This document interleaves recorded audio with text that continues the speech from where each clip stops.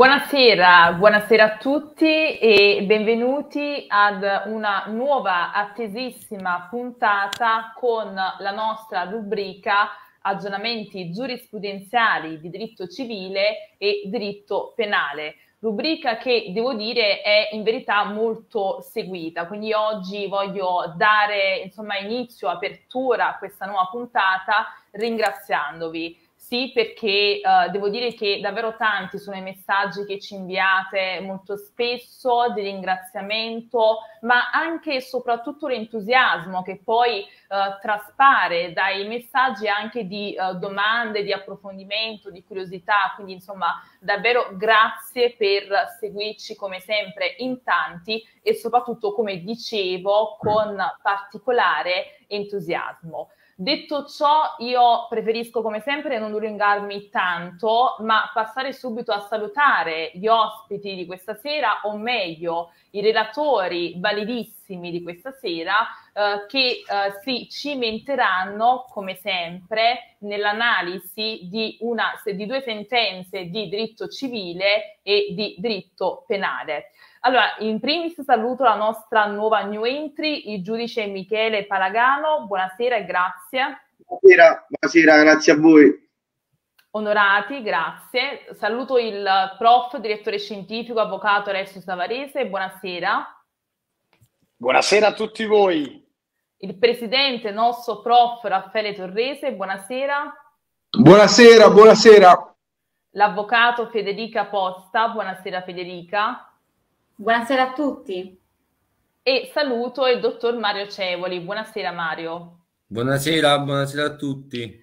Perfetto, allora io direi che possiamo aprire i lavori di questa nuova eh, attesissima puntata, eh, tra l'altro vi anticipo molto interessante perché davvero le sentenze che saranno trattate stasera sono di particolare interesse, quindi seguiteci fino alla fine come sempre. E uh, quindi procedo a passare la parola al direttore scientifico, ma prima di cedere la parola all'avvocato Savarese, io voglio come sempre congratularmi per il successo uh, che ha ottenuto alla, alle elezioni dei delegati al 35 congresso nazionale forense. E questo per un motivo ben specifico, perché ricordo che è stato eletto tra gli avvocati più giovani in assoluto del foro di Torre Annunziata. Quindi complimenti e cedo la parola. Grazie Giussi, sei sempre troppo buona, hai ricordato un risultato importante non solo mio, ma penso di tutta la nostra scuola, perché come ho detto anche la scorsa volta, il risultato non è altro che il frutto di un impegno, di un lavoro costante nell'ambito della formazione non solo, anzi questa sarà l'occasione per portare avanti un po' di proposte che noi abbiamo insieme a tutto il team della scuola che saluto con affetto e anche gli studenti collegati direttamente al Congresso Nazionale Forense quando si riunirà ad ottobre a Lecce insieme ai rappresentanti di tutti gli altri fori.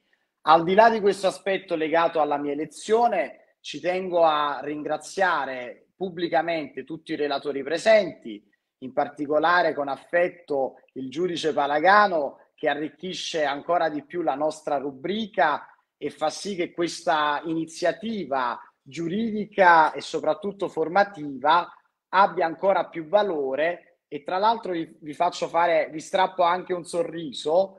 Proprio la scorsa settimana sono stato al Tribunale di Napoli dove diversi studenti si accingevano a sostenere l'esame d'avvocato, il cosiddetto esame d'avvocato rafforzato, mi hanno visto in tribunale, mi hanno avvicinato e mi hanno ringraziato per la rubrica aggiornamenti giurisprudenziali, sostenendo, loro avevano già sostenuto l'esame d'avvocato, tra l'altro lo dico anche all'avvocato Torrese che sarà gioioso di questa cosa che sto raccontando, diceva l'avvocato, ma sa che tutte le tracce che fino ad ora abbiamo affrontato anche negli esami che sono stati appunto sostenuti riguardavano proprio argomenti e sentenze trattate nella rubrica aggiornamenti giurisprudenziali.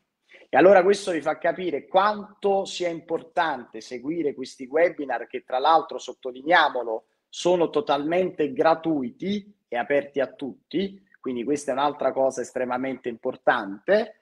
Quanto sia importante per chi oggi sta sostenendo questo percorso, ma anche per chi già lo ha sostenuto perché rappresentano degli arricchimenti da un punto di vista professionale e perché no, poi il giudice Palagano magari potrà dire qualcosa in più di me anche per chi sta attualmente studiando per il concorso in magistratura, perché non ci dimentichiamo che questi aspetti riguardano anche questi studenti. Io saluto tutti, non so se resterò fino alla fine, vi ascolterò con molta attenzione e vi ringrazio per la partecipazione. Grazie, grazie al nostro prof Savarese e adesso passo la parola al prof Torrese per l'immancabile introduzione. Buonasera a tutti, buonasera sia ai relatori, saluto il mio amico giudice Palagano, una splendida new entry, ma saluto anche ovviamente la straordinaria Giusi, Alessio, saluto l'avvocato Posta, il dottor Cevoli che sono invece sempre con me, sempre al mio fianco. Allora, Giussi ha già introdotto questo forum, cerco di sintetizzare un po' quello che faremo stasera, che poi è quello che facciamo sempre. Parleremo di quattro sentenze della giurisprudenza di legittimità, due di diritto civile e due di diritto penale. Noi scegliamo sempre sentenze che sono state pubblicate di recente, dal 2020 al 2022, qualche eccezione per qualche sentenza del 2019 particolarmente interessante. Ovviamente questo è un format interessantissimo e importantissimo, non solo l'abbiamo detto per chi prepara l'esame di avvocato e abbiamo visto che praticamente tutte le sentenze che abbiamo spiegato qui sono state prima o poi oggetto di traccia, ma anche per chi prepara altri concorsi pubblici in ambito giuridico. Chiaramente lo sapete, io tratto questo format come una sorta di spin-off, una sorta di approfondimento rispetto al corso di preparazione all'esame di avvocato e quindi cerco di trattare in questa sede una serie di argomenti che per ragioni temporali lì evidentemente non sono in grado di trattare. Prima di ogni altra cosa, chiedo a tutti coloro che ci stanno ascoltando di mettere mi piace alla nostra pagina Facebook, Corsi di Formazione Giuridica 2022, al nostro, alla nostra pagina Instagram, Centro Studi Piero Calamandrei, e al nostro canale YouTube, Centro Studi Piero Calamandrei. Non passa giorno che qualche studente mi chiede, avvocato, quando si terrà quel webinar? E io con, la, con le lacrime negli occhi devo dire, guarda, si è già tenuto perché lo studente non sa quando si terrà quel webinar, quell'incontro formativo gratuito? È molto semplice, perché non segue la pagina. Chi segue la pagina ogni giorno riceve informazioni sugli eventi come un vero e proprio calendario della giornata.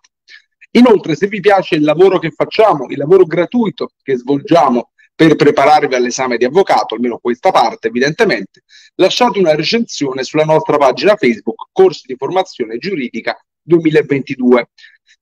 Vi segnalo la nostra programmazione di questa settimana. Due giorni fa, alle ore 15, abbiamo tenuto un webinar in tema di responsabilità medica in civile e in penale e in particolare tutti gli aspetti utili ai fini dell'esame di avvocato.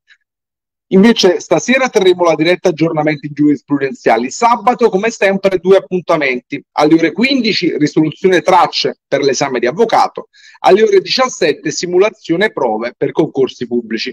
Prossima settimana, nuovo format, nuova sentenza, nuovi incontri, aggiornamenti giurisprudenziali. Vedremo se farli mercoledì o giovedì, sempre alle 21. Prima di iniziare vi ricordo qual è il nostro pacchetto, la nostra offerta di corsi. Abbiamo tutta quella parte di offerta, tutto il pacchetto relativo all'esame di avvocato, che è rivolto sia a chi deve ancora sostenere l'esame, ma anche a tutti coloro che lo sosterranno l'anno prossimo perché sono aperte le preiscrizioni. Ovviamente il tutto a numero chiuso, quindi dovete affrettarvi ed è possibile sia acquistare pacchetti di preparazione individuale, quindi con lezioni private per la prima o la seconda prova orale, sia acquistare l'intero corso comprensivo delle full immersion. Quindi affrettatevi. Ancora abbiamo il pacchetto per i corsi di specializzazione. È possibile acquistare il corso di preparazione in inglese specifico, inglese giuridico, in giurista d'impresa, in GDPR e Data Protection E ancora è possibile acquistare il pacchetto per i concorsi pubblici. Abbiamo corsi di preparazione a tutti i concorsi pubblici, compreso il maxi concorso RIPAM, compreso il maxi concorso di SGA, compreso il concorso, tutti i concorsi nell'ASL e tutti i concorsi negli enti locali, comune, regione, eccetera. L'anno prossimo, e questa è la più bella novità che vi volevo sottolineare, a partire da settembre o da ottobre partiremo anche con la preparazione per il concorso in magistratura. Siamo giunti oggi alla ventottesima diretta o al ventottesimo episodio di questo format e abbiamo visto finora una miriade di argomenti. Fate 28 per 4 perché siete un po' più bravi di me in matematica e vedrete di quante cose abbiamo trattate. Io ve ne elenco qualcuna a caso. Abbiamo parlato di mutuo, di danno REIPSA, di patto fiduciario, di diffida da adempiere, di forma del contratto preliminare, di clausole claims made, del contratto di vendita, del danno da perdita di chance, del danno da mancata vendita di bene, risarcimento del danno da diffamazione, di fondo patrimoniale, di oblio e in penale abbiamo parlato di omicidio, di strage, di assassinio di orsi e di animali, di maltrattamenti in famiglia, di schiamazzi, di circonvenzione di incapace, di rapina, di evasione, eccetera, eccetera, eccetera. C'è solo un modo per non perdersi alcuna delle dirette che abbiamo fatto in passato per evitare di perdere 40 ore sulla nostra pagina Facebook a fare scroll down, andate su YouTube, Centro Studi Piero Calamandrei, c'è una playlist che si chiama Aggiornamenti giurisprudenziali e lì trovate tutti gli episodi dal più recente al più antico. Siamo pronti a partire con la diretta di oggi. Io cedo la parola al giudice Palagano che ci intratterrà con una splendida e ve lo dico già molto difficile sentenza di diritto civile Un'ultima precisazione e poi mi taccio. La sentenza è molto interessante ai fini dell'esame di avvocato. Qualcuno di voi sentirà degli accenni un po' troppo processuali e inizierà a pensare, beh, ma è una traccia troppo tecnica. Ragazzi, non lo è, perché se la traccia dell'esame di avvocato è formulata in modo interessante e soprattutto in modo difficile, c'è effettivamente la possibilità che questa vicenda quella relativa all'efficacia della sentenza di primo grado dichiarativa o costitutiva, si ponga. Quindi io taccio, ringrazio tutti coloro che mi stanno salutando, buonasera e cedo la parola al giudice Palagano. Prego. Buonasera a tutti, eh, grazie ad Alessio e Raffaele che conosco da tempo veramente immemore cui ci lega sicuramente un rapporto di profondo affetto. Grazie, complimenti per queste attività che fate, che sono veramente eh, entusiasmanti, direi, dal punto di vista giuridico per la mole di, di argomenti che, che, che, trattate. Allora, veniamo subito a noi, quindi ringrazio il, il, centro studi, complimenti per il format. Veniamo subito a noi. Allora, la sentenza che, di cui vi parlerò nella sentenza della terza sezione della Cassazione civile del 2021, dell'8 ottobre 2021, la numero 27416 del 2021. Allora, mh, mm, ri, sì, è una sentenza che affronta argomenti molto processualistici, però in realtà eh, incidentalmente eh, è necessario passare per, per, una buona parte di, di diritto sostanziale. E ricostruiamo un attimo il fatto allora, ci sono uh, una, un soggetto che, che, che chiameremo Tizio, uh, un immobiliare X e un immobiliare Y. Uh, vi è un contratto di, vendi, compravendita da parte di, del soggetto Tizio all'immobiliare X e successivamente vi è un contratto di compravendita dello stesso bene immobile da parte dell'immobiliare X all'immobiliare Y ehm, una sentenza del Tribunale di Latina del 2006, il, il, primo contratto del 94, una sentenza del Tribunale di Latina del 2006 ehm, dichiara nullo il contratto eh, intercorso tra Tizio e Immobiliare X.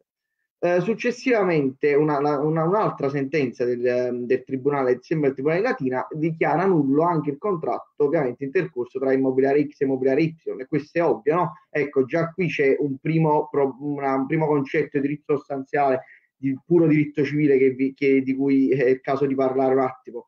Eh, perché eh, naturalmente il secondo, la, la seconda alienazione è, è, viene meno laddove è venuta meno la prima alienazione?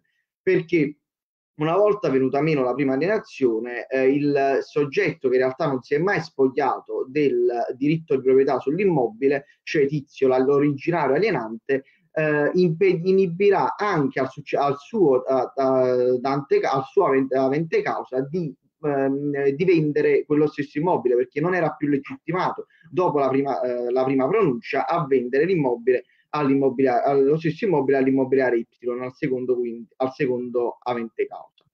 Eh, cade il primo titolo e quindi cade anche il secondo titolo. Ehm, che, che, problema si pone? Ovviamente X e Y hanno interesse a la prima a far dichiarare, eh, a, a, a, porre nel nulla la prima sentenza, la seconda a porre nel nulla la seconda sentenza.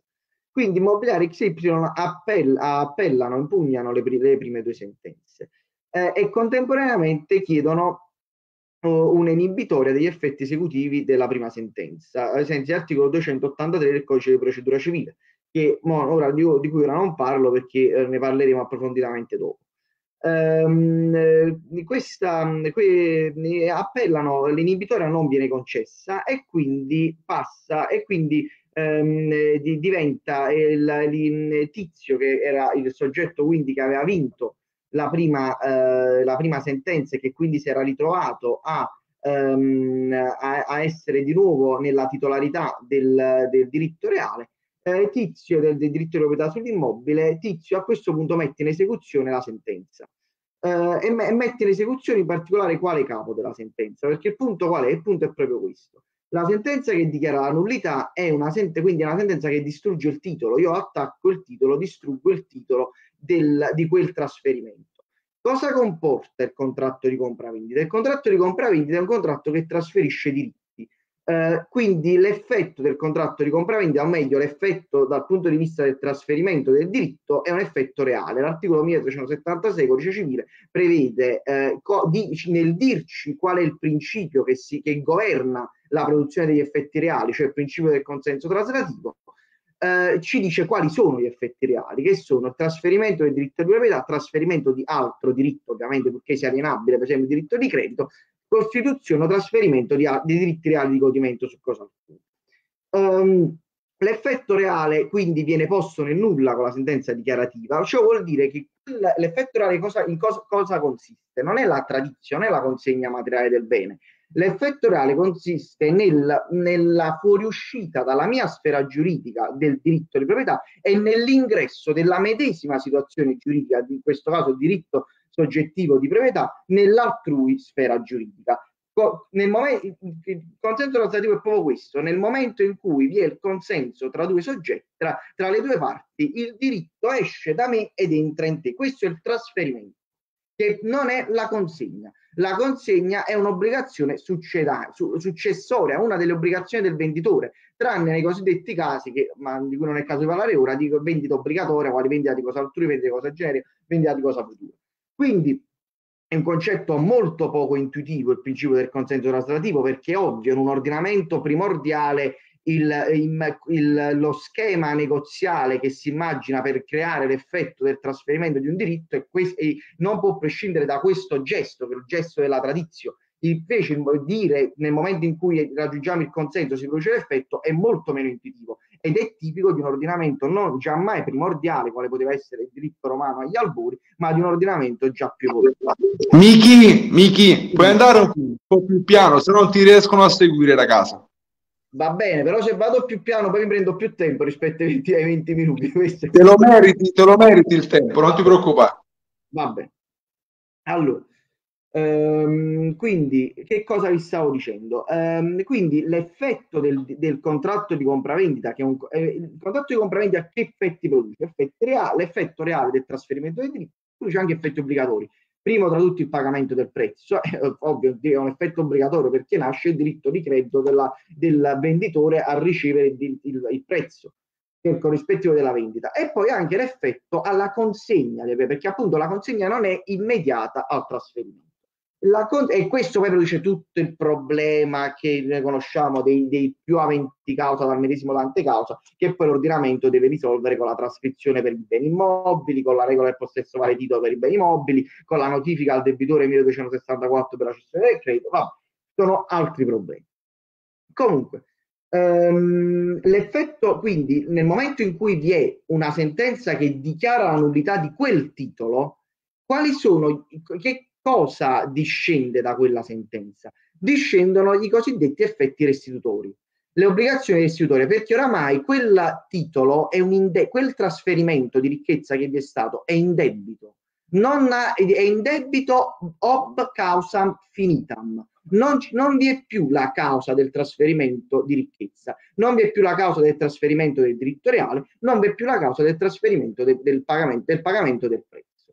Allora, che cosa discende da quella dichiarazione di unità? Discende la condanna alla restituzione, in particolare la condanna al rilascio dell'immobile da parte del, di colui a cui io nel frattempo l'avevo consegnato, quindi è il, è è il, una volta che pongo nel, nel, nel, nulla il titolo, anche gli effetti vengono posti nel nulla, quindi da, dal punto di vista dichiarativo qual è l'effetto che si realizza? È che il diritto rifuoriesce dalla, dall'acquirente e rientra nell'alienante. Dal punto di vista però condannatorio qual è il problema che si pone? come si deve adeguare la realtà di fatto alla realtà giuridica? Si deve adeguare nel senso che il prezzo deve essere restituito, quindi condanna al pagamento di una somma di denaro corrispondente al prezzo e il bene deve, essere, deve ritornare, che nel frattempo era stato consegnato, deve ritornare materialmente tramite l'azione per il rilascio, l'azione esecutiva, al, all'acquirente, all'alienante, al primo alienante. Eh, per questo motivo, avendo vinto le prime due sentenze e non essendo stata concessa l'inibitoria di questa condanna, um, ai sensi del 283 e Tizio che è quindi l'originario proprietario che quindi mai si era spogliato del diritto di proprietà mette in esecuzione il capo della sentenza che condanna al rilascio. Um, e, e, e, viene, e, la, e controparte c'è immobiliare Y che era quella che poi materialmente quindi perché è il secondo avente causa che materialmente quindi detiene l'immobile fa opposizione all'esecuzione perché sappiamo che il, il, come, io come metto in esecuzione il rilascio? Io ho un diritto che deve essere messo in esecuzione, in questo caso un diritto di credito, cioè il diritto alla consegna di un bene immobile, deve essere messo in esecuzione, che si fonda in realtà su un diritto di proprietà riconosciuto con la sentenza dichiarativa di nullità, eh, come lo metto in esecuzione con un'azione per il rilascio, perché il diritto di credito in questo caso non è al pagamento di una somma di denaro e quindi darebbe la strada alle azioni espropriative del patrimonio, ma è un diritto alla, al rilascio di un bene immobile. Se fosse un bene immobile sarebbe la consegna. Le azioni esecutive per il rilascio sono 605 seguenti del codice di procedura civile. Quindi fa il precetto, vede che l'atto che, che preordinario, eh, l'atto presecutivo al rilascio, fa il precetto e dice caro immobiliare Y mi devi rilasciare l'immobile. Eh, l'immobiliare Y fa opposizione all'esecuzione. L'opposizione all'esecuzione viene rigettata e tutta la vicenda su cui poi si incardina la, la, la sentenza della Corte di Cassazione prende spunto e cioè si fonda su quell'originaria sentenza di rigetto dell'opp- dell'opposizione all'esecuzione. Quindi dice la, il, la, la posizione all'esecuzione viene rigettata e quindi dice no, per, perché con l'opposizione all'esecuzione quale problema pone um, nell'immobiliare Y? Dice no giudice del, eh, dell'esecuzione, tu non puoi mettere in esecuzione questa, questo capo di condanna, perché questo capo di condanna, condannatorio al rilascio, non è esecutivo e non è esecutivo perché, perché è collegato al capo dichiarativo di nullità del contratto. Poiché il capo di nulli, de, de, dichiarativo di nullità del contratto diventerà esecutivo solo una volta che, pass- che vi sarà giudicato, che passerà in giudicato quel capo, allora anche, sarà solo in quel momento che si potrà mettere in esecuzione il, il capo re, re, re, relativo alla condanna al rilascio. Questa è la questione dell'opposizione all'esecuzione su cui poi si, pronuncia la, la, si pronunciano le sezioni si pronuncia la Cassazione.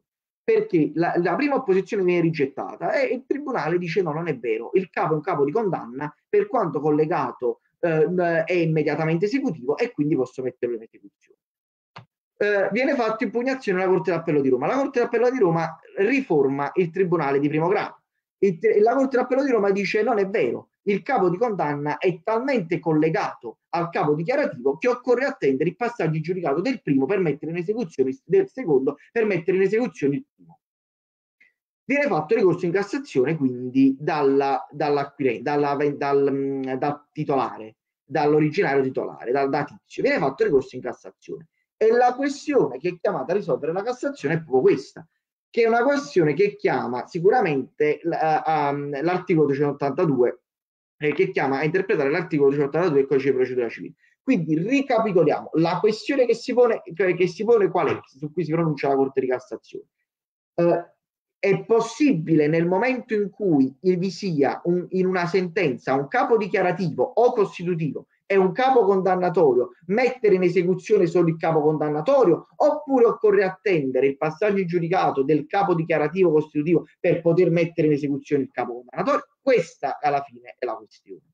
Ora, eh, il, nell'affrontare questo problema, la Corte di Cassazione ripercorre un attimo il dibattito giurisprudenziale che vi è stato sul punto e, e, e differenzia tre momenti storici.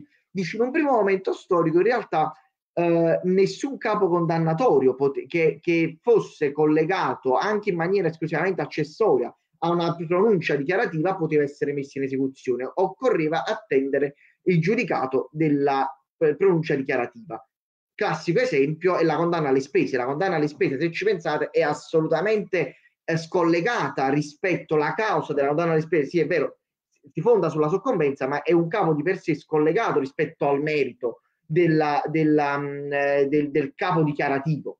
Eh, e questa, però, questo orientamento era assolutamente di chiusura e diceva no, assolutamente eh, non è possibile mettere in esecuzione alcun capo fino a che non vi sia la, eh, il passaggio giudicato del primo capo.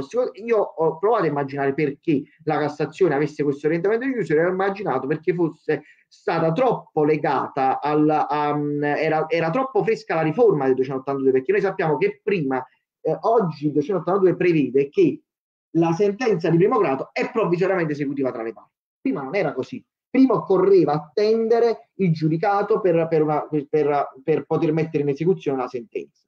Eh, allora, ovviamente, in, eh, quando si andò a interpretare a questa norma, in realtà già si disse, in realtà dice più di quello che vuole, plus dixit quam voluit, cioè questa, questa, questa norma, perché? Perché è normale non tutte le sentenze, solo le sentenze di condanna, perché sono quelle sentenze che possono essere titolo esecutivo e quindi possono essere messe in esecuzione. Quindi già è una norma che deve essere ristretta nel suo ambito inter- interpretativo. Eh, dopodiché, eh, e quindi però, poiché era molto fresca questa riforma, probabilmente vi era un atteggiamento di chiusura della Cassazione. Diceva, aspetta un attimo, noi abbiamo questa, questa norma, ma la applichiamo in maniera settata, cioè solo le sentenze puramente di condanna, cioè solo le sentenze che contengono solo capi di condanna. Appena vi è un capo dichiarativo, allora no, bisogna attendere il giudicato.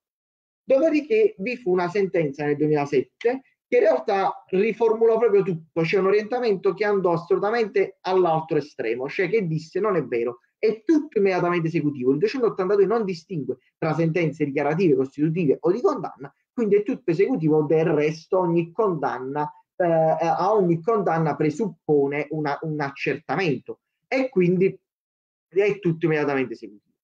Ultima parte di questo nostro racconto, a cui poi si ricollega la nostra decisione finale, e vi giuro 7-8 minuti massimo e ho finito. Um, la eh, ultima parte vi è una sentenza a sezione del 2010, la numero 4059 2010. Io non ricordo mai i numeri delle sentenze. Questo magari è un consiglio che voglio dare agli studenti. Non vi a, non impegnate la memoria a ricordare cose inutili come le norme oppure le i numeri delle sentenze, perché i codici esistono per questo. Ciò che è importante, prima hanno detto un consiglio che daresti a chi studia il corso di magistratura è un consiglio che non è molto diverso da quello che darei a uno che studia per l'esame di avvocato o uno che magari fa il, dott- il dottorato di ricerca. Tutti gli scritti giuridici presuppongono il ragionamento logico giuridico. Allora bisogna imparare a scrivere, questo è il problema bisogna imparare a scrivere che non vuol dire sapere le cose. A volte, cioè se faccio questo, eh, questo excursus, bisogna imparare a scrivere nel senso che bisogna imparare la, la tecnica della scrittura e dell'argomentazione giuridica. O, ogni par- il parere è un problema che la commissione vi chiede di risolvere, utilizzando giurisprudenza magari già esistente. Eh, e con un linguaggio più vicino al cliente. Il compito è un, è un, problema che la commissione vi chiede di risolvere. Con la logica e con le norme, lì la, la, la, soluzione la dovete creare voi, magari differentemente da quanto può venire per il parere, soprattutto quando c'erano prima codici commentati, e quindi la dovete creare voi, ma comunque dovete risolvere un problema. Per lo scritto scientifico forse il problema è un po' diverso perché là più che risolvere problemi, i problemi si pongono. Mi, lo scritto scientifico mira a porre problemi. Io dico, io sono anche dottore di ricerca, quindi eh, ho, ho, l'università è stata parte della mia formazione, quindi io ricordo questo, que, questa distinzione tra le varie, i vari scritti giuridici. Comunque l'importante è ragionare, a prescindere da, da quel, le, le sentenze sono itinerari argomentativi, sono esempi di ragionamento, ma non vuol dire che bisogna imparare quello che ha detto la Corte di Cassazione in quel determinato momento, bisogna ragionare, così come ha fatto la Corte di Cassazione, per esempio. Allora, scusatemi questo off topic. Uh, tornando a noi, quindi che, cosa, um, che, quindi, che cosa dice la Cassazione?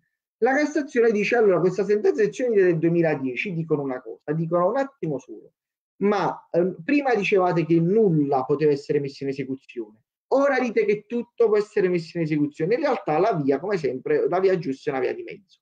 Perché? Perché dipende dal rapporto che esiste tra il capo dichiarativo costitutivo e il capo di condanna.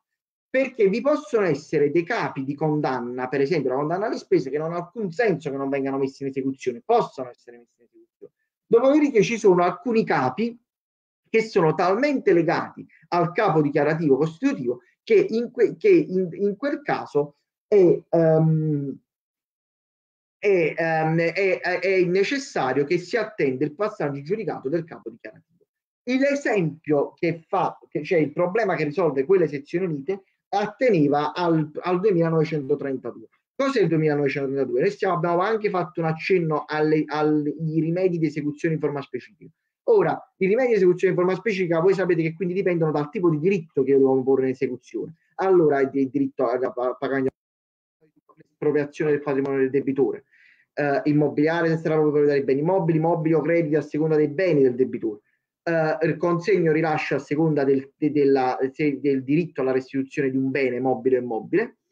Se il diritto che io devo, essere, devo, devo avere eh, tutelato, richiedo che venga tutelato in sede esecutiva, sì, è un diritto a un facile giuridico, che cosa succede? Il facile giuridico a prestare il consenso al contratto. Su questo il giudice può intervenire, può intervenire nel mondo del diritto. Il 2932 è questo. Come si mette in esecuzione l'obbligo a contrarre? Classico esempio, preliminare di compravendita. Preliminare, il preliminare non, pro, non, è un contratto, ma non produce effetti reali, produce effetti obbligatori. Qual è l'obbligo che deriva dal contratto preliminare? L'obbligo di compiutere il contratto definitivo, quindi l'obbligo di prestare il consenso. Che succede se una delle due parti non vuole prestare il consenso? Vi è un inadempimento della parte che non ha un'obbligazione della parte che non vuole prestare il consenso. Come fa quella parte, il diritto a, ad avere il consenso, quindi della controparte, viene violato? Come si fa a, a tutelare in forma specifica quel diritto? Con una bella azione 2932, che è un'azione con cui il giudice fa una sentenza costitutiva, cioè che crea gli effetti giuridici.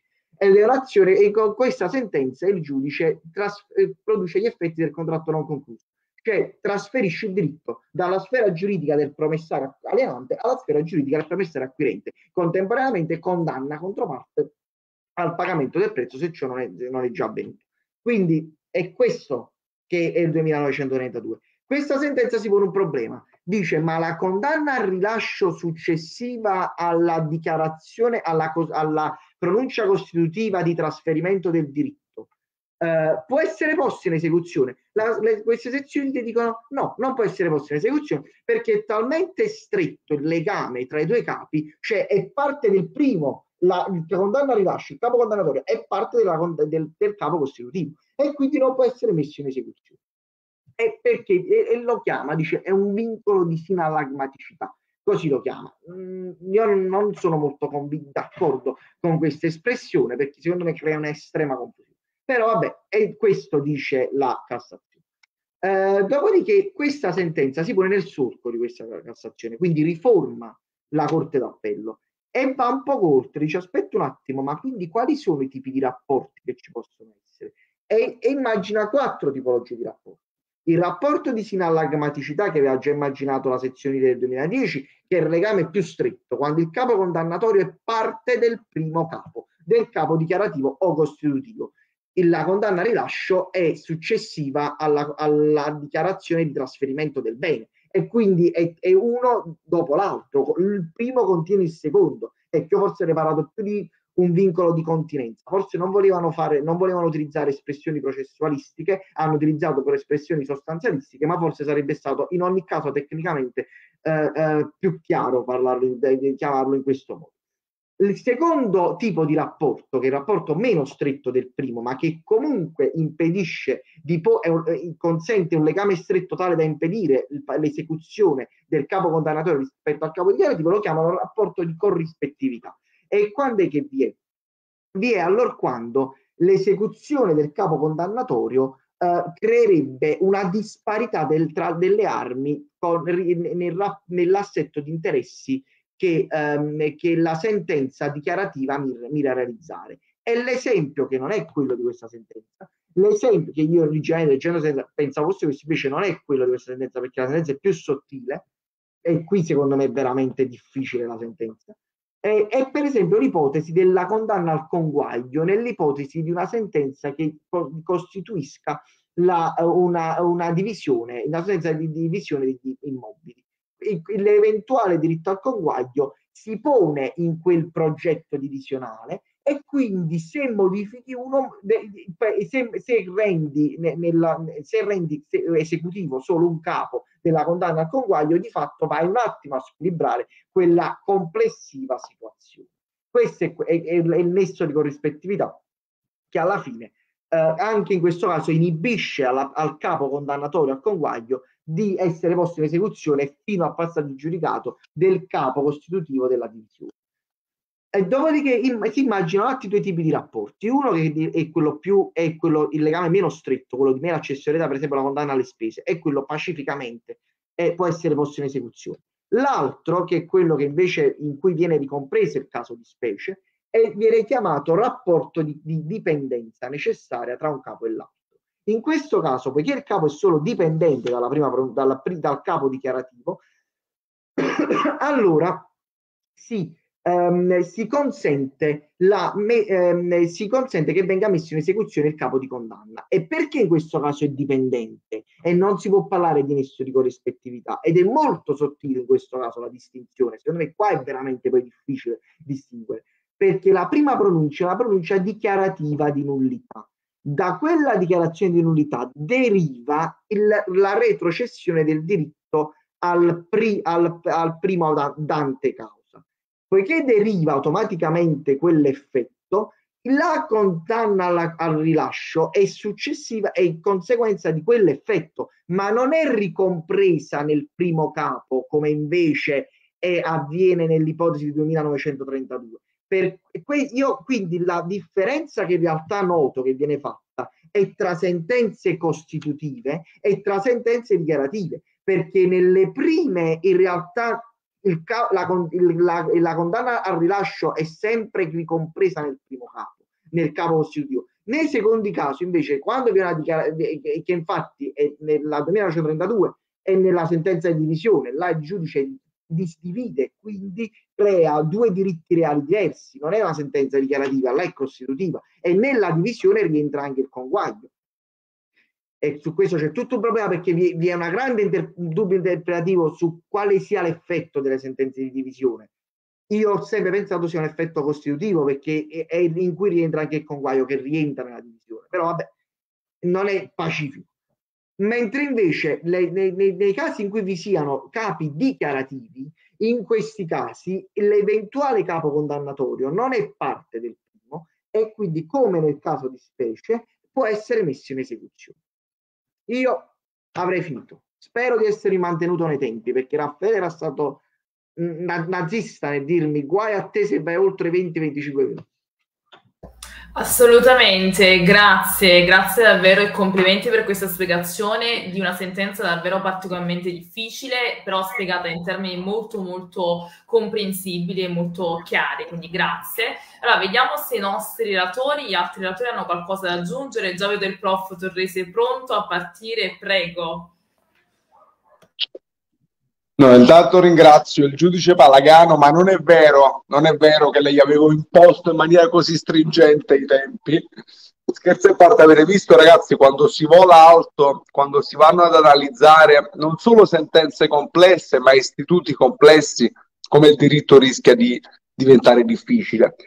Io più che un intervento sulla sua esposizione, che è completissima, volevo fare una riflessione giudice prima ha fatto notare come è una novità paradossalmente, novità per modo di dire, ma non è un qualcosa di storicamente sempre esistente il fatto che le sentenze di primo grado siano immediatamente esecutive. Il giudice prima vi ha fatto notare che in passato la sentenza di primo grado non era mai esecutiva. Quindi io ottenevo una sentenza di primo grado e prima di poter metterla in esecuzione quindi sostanzialmente prima di poter ottenere quella tutela che il giudice mi aveva riconosciuto, dovevo aspettare, pregando magari che la controparte non facesse appello. Perché se la controparte faceva appello, io non potevo mettere in esecuzione un bel niente, dovevo aspettare che si pronunciasse la Corte d'Appello. Ottenevo ragione in appello, felicissimo, a quel punto dovevo pregare un'altra volta sperando che la controparte non facesse anche ricorso per Cassazione.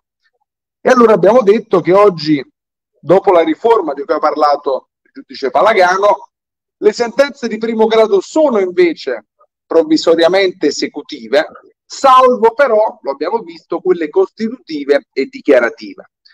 Faccio notare che quella che forse una volta fu visto come un traguardo, oggi è qualcosa che va un po' stretto, perché io lo noto nella prassi d'avvocato, oggi quando ci troviamo dinanzi a dei diritti che possono essere tutelati solo attraverso sentenze dichiarative o sentenze esecutive, c'è una sorta di fuga dalla giustizia. Mi spiego, dati anche i tempi della giustizia e dato che per ottenere una, un giudizio una sentenza di Cassazione partendo dall'introduzione del giudizio di primo grado, raramente ci vogliono meno di 12, 13, qualche volta 14 anni. È chiaro che un soggetto si rende conto che laddove la questione verta su un bene di grosso valore, forse è opportuno trovare soluzioni diverse. Mi spiego. Immaginate che si discuta appunto della proprietà di un bene immobile giudice Palagano prima ha fatto il classico esempio di sentenza costitutiva, no? Abbiamo un contratto preliminare, io sono pronto a concludere il definitivo, così come prevede il preliminare, l'altra parte dice sai che c'è di nuovo, io il definitivo con te non lo voglio fare, il bene non te lo voglio vendere. E ha detto giustamente il giudice, bene, tu hai un rimedio però, attraverso l'articolo 2932, esecuzione in forma specifica, mi porti dinanzi a un giudice e ottieni una sentenza di condanna. Quella sentenza sostituisce il contratto che l'altra parte non ha voluto concludere con te. Quindi sostanzialmente, attenzione a chiudere i microfoni se li avete aperti, quindi sostanzialmente con quella sentenza tu hai lo stesso effetto del contratto che l'altra parte non ha voluto concludere. Benissimo. Quella sentenza però non è provvisoriamente esecutiva perché è una sentenza costitutiva. Quindi se si fa appello e se si fa Cassazione, tu non puoi eseguire quella sentenza. E visto che spesso quando parliamo di contratti preliminari parliamo di valori economici importanti, parliamo del prezzo di un immobile normalmente, perché il preliminare è un vestito che normalmente no, si mette attorno, tra virgolette, al contratto di vendita immobiliare. Possiamo parlare di 200, 300, 400 mila euro ed è quindi molto probabile che trattandosi di normalmente quando è che si arriva in Cassazione, ragazzi, ve lo dico per chi non fa l'avvocato, quando si discute di cifre importanti. Se si discute di poco, è raro che un cliente è pronto ad arrivare fino in Cassazione perché costa soldi. E allora quello che si verifica è che quando si discute di beni importanti, si tende a seguire strade diverse. E allora, quando all'università, alla domanda classica qual è lo strumento tipico in caso di inadempimento del contratto preliminare, lo studente giustamente risponde 2932 esecuzione in forma specifica, non sa, giustamente lo studente, che in realtà nella stragrande maggioranza di casi si agisce in modo diverso, risoluzione e risarcimento del danno, perché nessuno ha voglia di aspettare 16 anni per la sentenza della Cassazione. Quindi forse si potrebbe immaginare una riforma che renda provvisoriamente esecutive anche quel tipo di sentenze. Ho finito, complimenti al giudice, vediamo se ci sono altri interventi o domande. Chiaramente anche, anche il giudice può replicare, eh? anche Michele può replicare. Sì, grazie, davvero complimenti ancora al giudice. Vediamo se l'avvocato Posta, il dottor Cevoli hanno qualcosa da aggiungere. No, io vorrei fare i complimenti comunque a Michele, sicuramente una sentenza molto molto importante e eh, concordo ovviamente con l'avvocato Torrese eh, insomma, rispetto a quello che ha poc'anzi detto perché comunque nella pratica è eh, spesso quando si ha a che fare con cifre così importanti è molto difficile comunque arrivare eh, ad una uh, soluzione che uh, sostanzialmente comunque il soggetto in qualche modo uh, rischia eh, in tal senso. Quindi, però è molto molto importante questa lezione, soprattutto per coloro che comunque si accingono so, nella seconda parte dell'esame d'avvocato, perché è una sentenza che fa riflettere eh, sia dal punto di vista sostanziale sia dal punto di vista procedurale, anzi devo dire che molte volte molti studenti fanno uh, delle uh, insomma, incertezze, hanno delle incertezze proprio sulla natura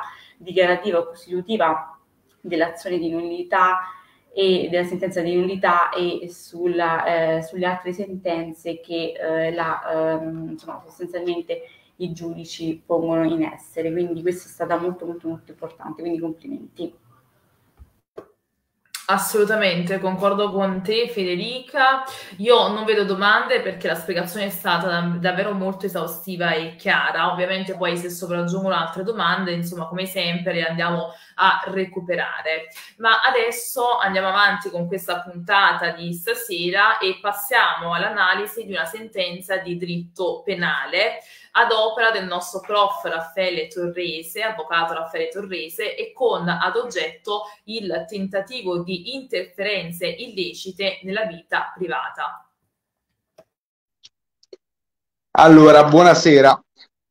La sentenza di cui parlerò stasera è la sentenza numero, ovviamente Cassazione penale, 17065, ripeto 17 065 del 2022, quindi è fresca fresca. Ed è una sentenza nella quale la Suprema Corte discorre del tentativo del reato di interferenza illecite nella vita privata.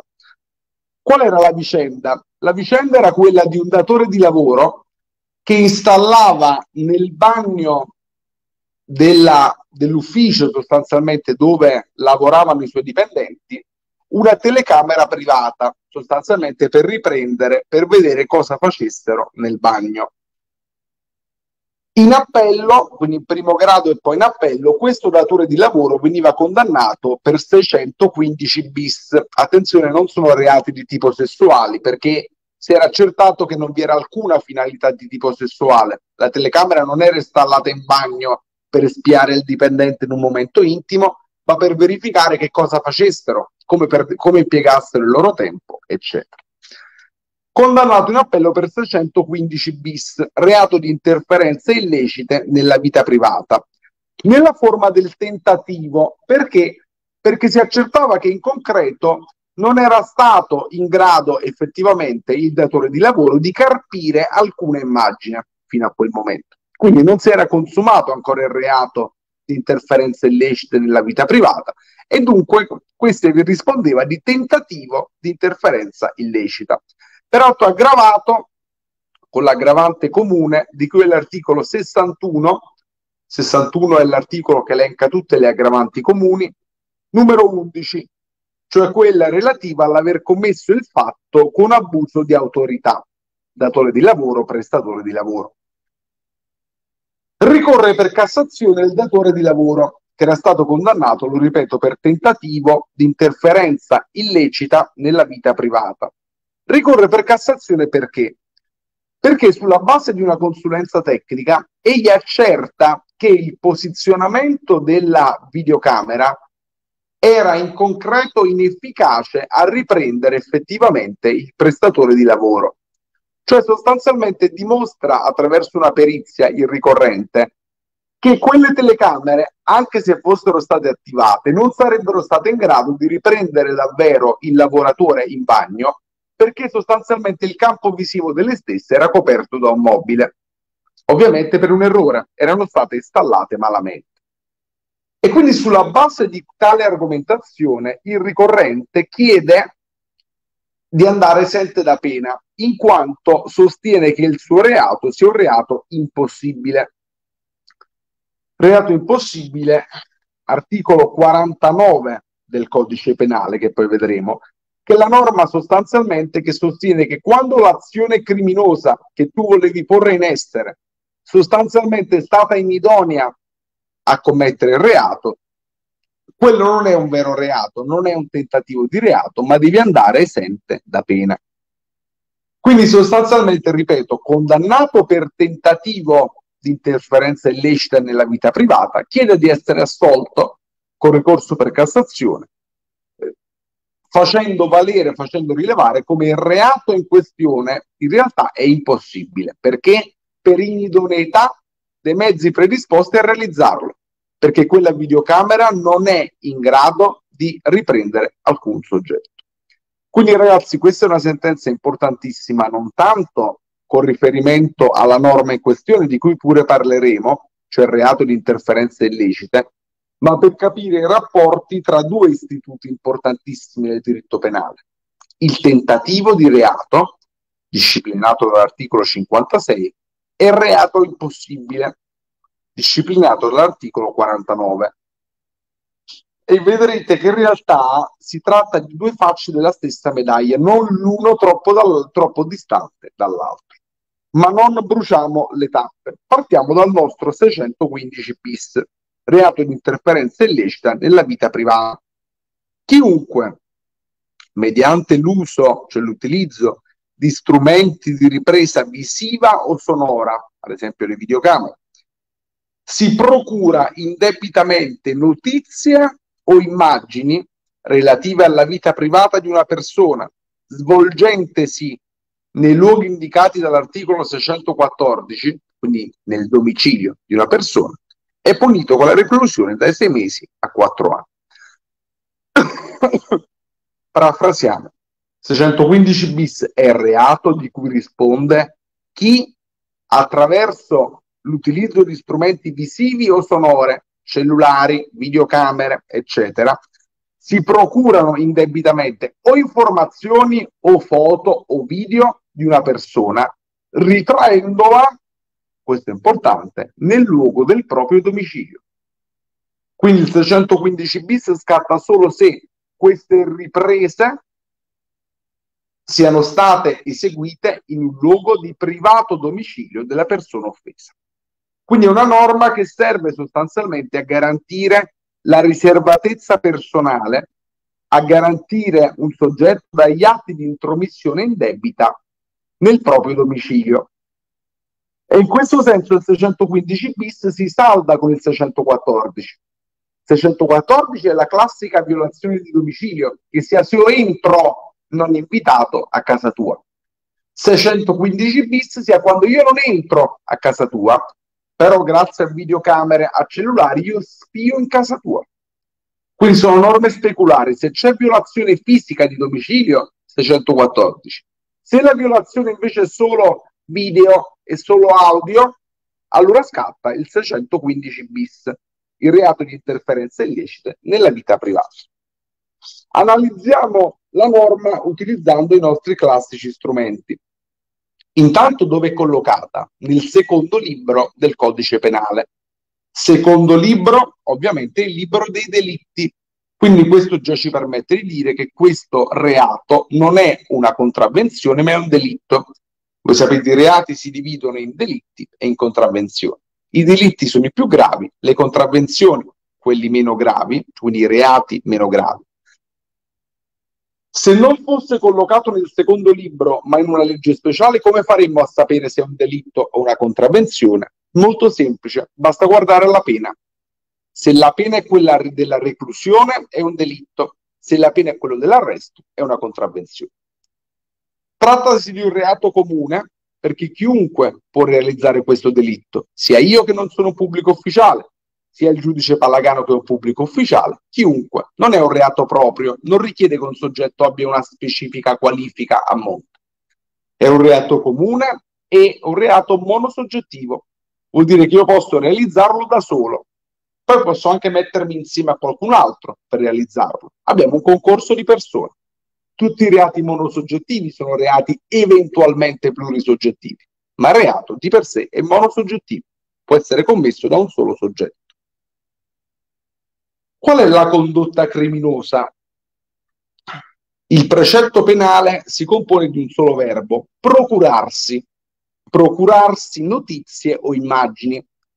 Quando vi trovate dinanzi ad un precetto penale composto da un solo verbo, normalmente vi viene da pensare che quel verbo indica la condotta e che quindi il reato è il reato di mera condotta. Quindi la condotta potrebbe essere procurarsi immagini. Ragazzi, niente di più sbagliato. Perché? Perché il verbo procurare è un verbo che dà l'idea di un'acquisizione, di un risultato di un'attività.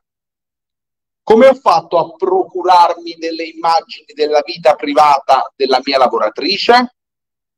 Ho installato delle telecamere, ho lasciato il cellulare acceso mentre lei pensava di essere da sola. Quindi ragazzi, procurarsi è un verbo che indica l'effetto di una condotta. Come ho fatto a procurarmi quelle immagini? L'ho fatto mettendo le videocamere. Quindi ragazzi, procurarsi notizie o immagini non è la condotta, è l'evento dedotto nella norma. Quindi si tratta di un reato di evento. L'evento qual è? Procurarsi immagini o procurarsi notizie. E qual è la condotta? Niente di più facile. Se il legislatore non lo dice, il reato è un reato evidentemente che può essere realizzato attraverso varie modalità qui dice mediante l'uso di strumenti di ripresa visiva o sonora. Quindi la condotta è in un certo senso vincolata perché devi utilizzare sempre uno di quegli strumenti, ma evidentemente alternativa, visiva o audio o audio o audiovisiva, evidentemente. Quindi un reato di evento oppure un reato causalmente orientato, trattandosi di reato effettivamente la cui condotta è aperta. Qual è il bene giuridico presidiato dalla norma? La libertà individuale. Per rispondere a questa domanda, niente di più facile. Libro del codice penale dei delitti. Bene, guardate il titolo e vedete qual è il bene giuridico che la norma tutela. La libertà individuale e in particolare l'inviolabilità del domicilio.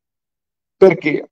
Perché è necessario che io nel mio domicilio possa fare ciò che voglio e non possa essere oggetto di destinazioni, di registrazioni, di riprese, eccetera. È una violazione del mio domicilio anche se tu non metti un piede in casa, è la stessa cosa.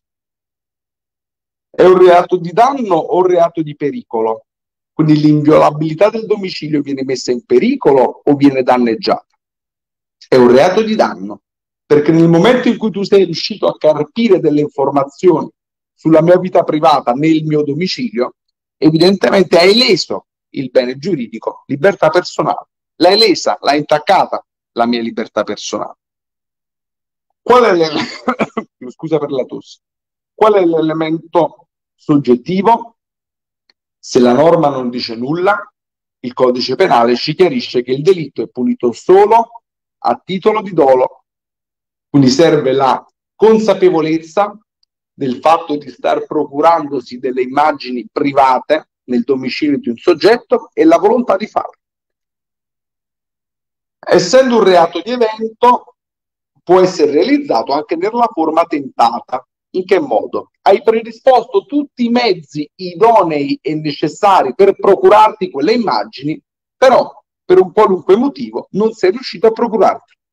Non rispondi in questo caso di interferenza illecita nella vita privata, ma di tentata interferenza nella vita privata, che è proprio il caso del nostro tizio.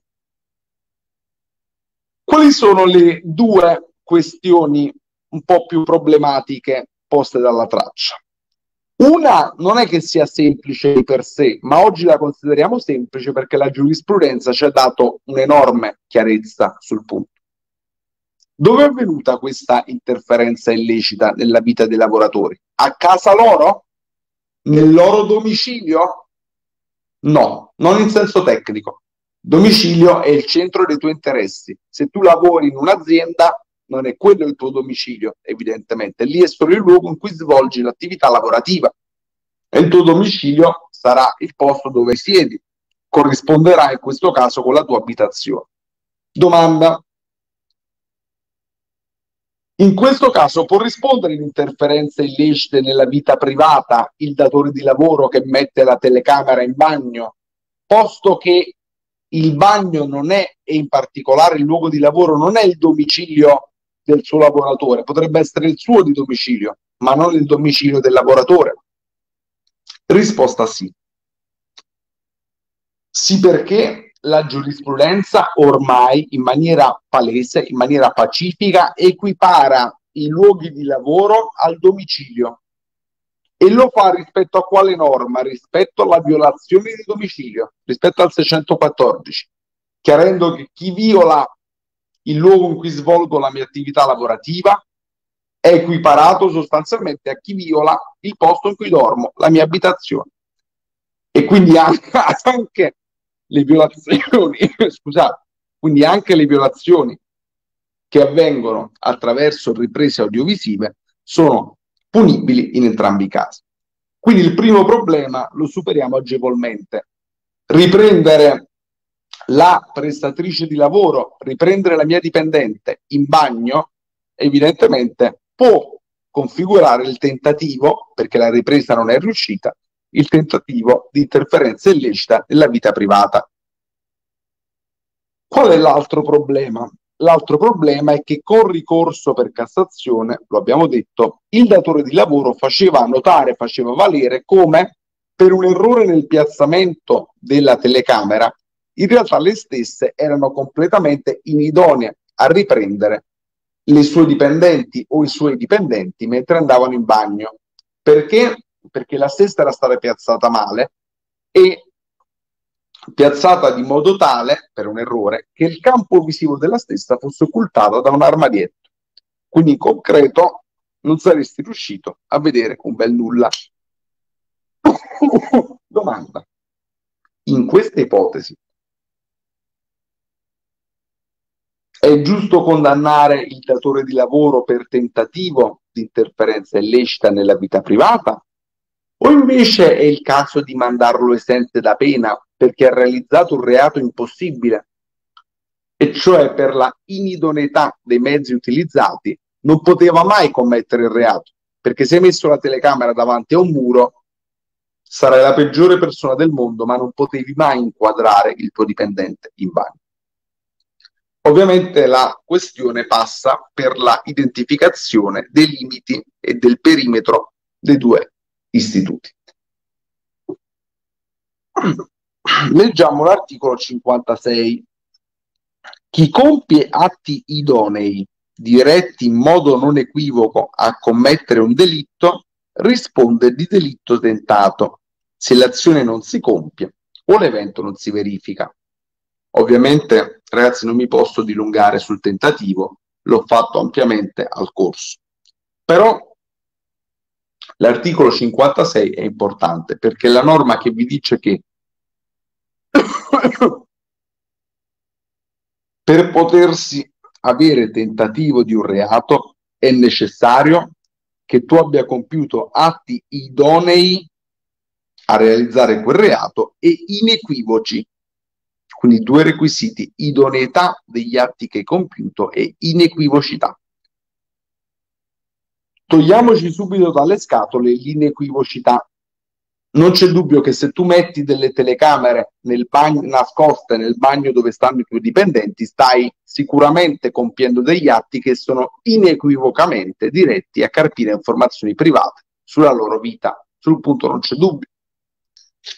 Quindi l'unico dubbio per poter essere sicuri che il soggetto in questione dovesse essere condannato per tentativo di interferenza illecita è quello relativo alla idoneità. E cioè siamo sicuri che debbano essere considerati idonei gli atti posti in essere dal soggetto che ha occultato una telecamera, anzi più telecamere mi sembra, in un bagno, ma in una posizione tale da far sì che le stesse fossero sostanzialmente inoffensive. Il dubbio viene perché? Perché se leggete l'articolo 49, in particolare il comma secondo dell'articolo 49, cosa leggete? che quando che, reato, che sia reato impossibile e un soggetto deve andare esente da pena quando per la inidoneità dell'azione o per l'inesistenza dell'oggetto è impossibile l'evento dannoso o pericoloso.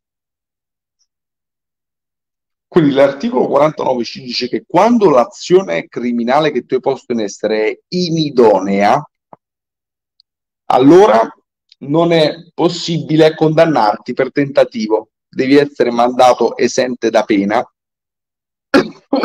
perché il tuo reato è impossibile. Quindi abbiamo due norme, il 49, secondo e il 56, che sono molto vicine l'una all'altra. Una vi dice che se anche non hai commesso il reato, ma hai tentato di farlo, se il tentativo quindi se quello che hai realizzato fino a quel momento è inequivocamente diretto a quell'obiettivo ed è idoneo a conseguirlo, rispondi di tentativo. Il 49 mi dice invece se l'azione, se quello che hai fatto è inidonea a conseguire il risultato, allora il reato è impossibile e non rispondi di niente, neanche di tentativo. Fatta questa dovuta premessa, allora dovete porvi questo quesito per comprendere se effettivamente il datore di lavoro debba rispondere o no di tentativo di interferenza illecita nella vita privata, dovete porvi una domanda. Gli atti da lui posto in essere sono idonei o inidonei a conseguire il risultato? Perché è chiaro che se gli atti sono idonei, allora dovremmo avere un tentativo. Se gli atti sono inidonei, dovremmo avere un reato impossibile. Il problema però è che non esiste una nozione chiara e semplice di idoneità e quindi non sempre è agevole comprendere se per la Cassazione un determinato atto sia idoneo o inidoneo. Tenuto ovviamente presente che la idoneità si guarda ex ante, quindi si guarda al momento in cui i fatti sono stati posti in essere e non con il giudizio, con il famoso senno di poi, con il giudizio successivo. Allora, la Cassazione che si pronuncia su questa vicenda è una Cassazione importantissima perché cerca di tracciare una linea di confine tra il reato impossibile, da un lato, e il tentativo di reato. Cosa vi dice la Cassazione? Vi dice che la Corte ritiene sussistente in questa ipotesi il tentativo di reato perché ha ritenuto che gli atti in questione fossero ex ante considerabili idonei a raggiungere il risultato, cioè l'evento, e cioè procacciarsi informazioni o immagini di quella persona. La Corte fa un ragionamento a contrario. Cosa dice? Dice che non può trattarsi in questa ipotesi di un reato impossibile. Perché? Perché l'idoneità negli atti deve essere valutata con riferimento alla possibilità astratta che la condotta riesca a conseguire l'obiettivo. Dice ancora la Corte, per potersi avere reato impossibile, ci deve essere un'assoluta inefficienza e un'assoluta inadeguatezza dei mezzi in questione. Solo in questo caso si può parlare di inidoneità negli atti. E allora, se ad esempio io piazzavo delle telecamere che erano completamente rotte in bagno, quello sì che era un reato impossibile. Però il fatto che invece abbia piazzato delle telecamere che rotte non sono, ma che funzionano, che però non sono state collocate in modo perfetto e quindi evidentemente permettono una ripresa video disturbata e una ripresa audio di scarsa qualità, non può portare a mandarti esente da pena perché l'azione è inidonea e quindi il reato è impossibile, articolo 49 secondo comma, ma dobbiamo invece ritenere che l'azione in questione, oltre a essere inequivocamente diretta a commettere quel delitto, fosse idonea a realizzarlo. Perché? Possiamo dire non ha una inidoneità così manifesta da far scattare l'articolo 49. Quindi una Cassazione fondamentale non tanto per quello che vi dice sul reato di interferenze illecite nella vita privata, perché su quel reato onestamente vi dice poco, se non quello che già sappiamo, e cioè che il luogo di lavoro è equiparato alla dimora, ma è una sentenza importante perché fa una distinzione tra tentativo e reato impossibile. Io ho chiuso, spazio prima gli interventi e poi le domande se non muoio prima con questa tosse. Posso intervenire un attimo? Posso intervenire solo un attimo? Certo. No, io volevo solo dire, io mi sono allontanato dall'ufficio perché nel posto dove io presto servizio non è molto consigliabile tornare molto tardi a casa, quindi per questo mi sono allontanato, però vi continuo a seguire dal telefono, va bene? Assolutamente. Va benissimo. Grazie, Grazie. complimenti ancora. Sì, mi associo ai complimenti per la spiegazione nostro prof, del nostro prof Torrese e vediamo se Federica Posta e Mario Cevoli hanno qualcosa da aggiungere. Mario, no? Vediamo Federica.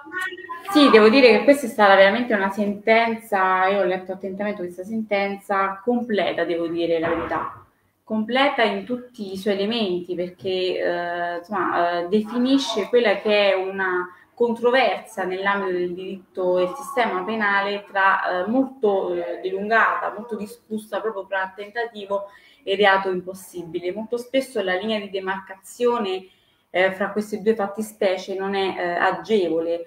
E, mh, mm, credo che eh, la, la, dottrina già ci ha eh, registrato diversi interventi in passato, eh, ma anche la giurisprudenza, ma devo dire che questa è una sentenza molto molto molto importante, quindi mi raccomando nel restare ben eh, in ascolto perché è stata veramente molto tecnica eh, perché appunto richiama non soltanto aspetti eh, del, mm, insomma, della norma della fattispecie incriminatrice di parte speciale, come è l'articolo 615 bis, che tra l'altro vorrei ricordare è una norma che ha destato tante eh, perplessità in passato, eh, proprio per il suo ambito di, di applicazione che eh, adesso è pacifico, che è molto ampio, anche con un richiamo all'articolo 614 sulla violazione del domicilio, ma eh, riguarda insomma, una sentenza che non riprende soltanto la fattispecie in, di parte speciale, ma appunto eh, richiama aspetti di diritto sostanziali eh, oggi eh, specifici, ma in passato abbastanza discussi. Esatto, assolutamente Federica, assolutamente. Allora, diamo uno sguardo alle domande e come sempre per il nostro prof Torrese sono in arrivo domande. Allora, partiamo dalla domanda di Marco che chiede ma l'univocità nel tentativo non andrebbe valutato come elemento psicologico intesa come preordinazione finalistica della volontà dell'agente a commettere il delitto in questo senso escluderei l'univocità degli atti a procurarsi. No, l'inequivocità degli atti va vista rispetto a quanto è realizzato fino a quel momento. Quindi il giudice, tenendo conto di quel segmento di condotta che è stato realizzato, deve chiedersi: ma questo segmento di condotta realizzato è un segmento inequivocamente diretto a realizzare quel delitto? Oppure in realtà io potrei aver tenuto quelle condotte, ma poi alla fine potevo voler fare qualcosa di diverso.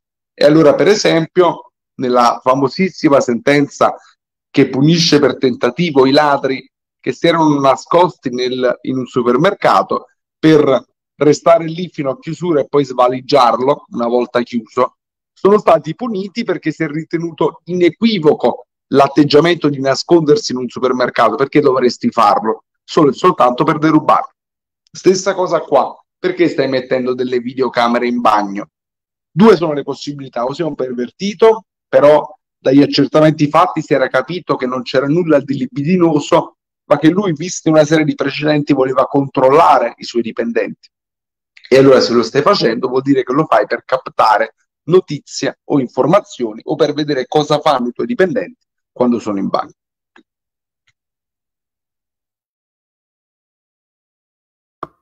Bene, andiamo avanti. C'è ancora un'altra domanda da parte di Antonio che vado a leggere.